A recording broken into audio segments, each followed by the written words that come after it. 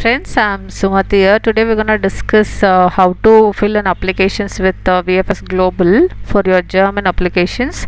And this is going to be step by step. It's going to be useful for you guys. Do like my videos and subscribe my channel for more updates. Um, first and foremost things you have to log in you have to go to vfs.go uh, vfsglobal.com india for bangalore. If you are in whichever the locations you can choose accordingly i'm i'm here on google vfsglobal.com and uh, first things you have to identify the visa type. Uh, so here they'll give the options that whichever the uh, jurisdictions that you belongs to you can choose accordingly.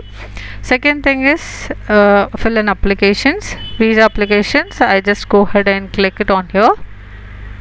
So it'll ask for english or germany i have selected.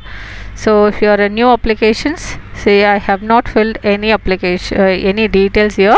So what am i going to do? I'm go i'll pause it and go ahead and fill all the informations and explain you in detail. So um, so randomly i have filled the applications informations.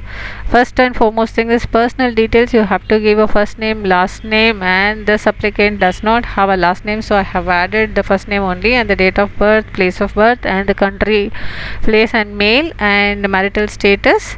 And uh, if it is mandatory you can say. Otherwise you can just let go. India i have given.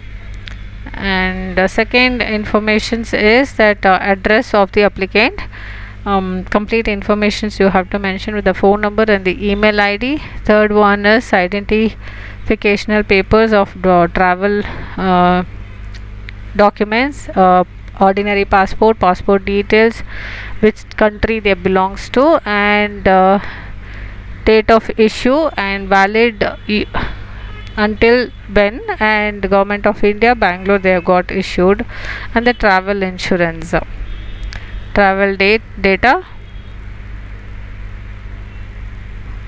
So main purpose of visiting maybe tourist or family visit. In germany single entry. Date when on you are staying here.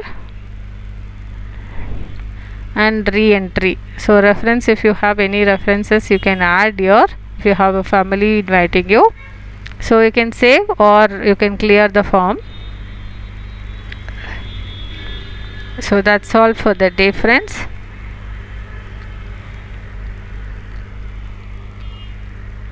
Do like my videos and subscribe my channel for more updates. Thank you